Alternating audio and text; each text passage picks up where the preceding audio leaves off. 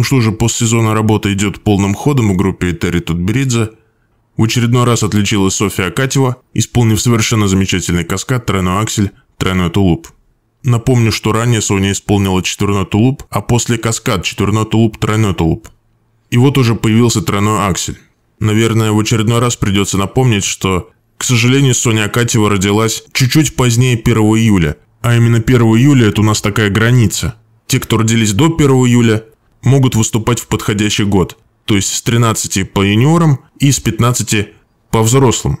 Но если фигурист родился после 1 июля, то ему приходится ждать целый сезон. Поэтому дебют Сони Акатьевой на юниорском уровне будет только через два года, когда ей будет 14 лет. А на взрослом уровне, если к тому времени еще правила не поменяют, в 16 лет.